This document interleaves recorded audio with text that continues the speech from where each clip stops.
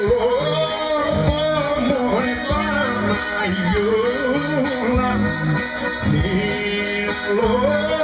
forgive no more.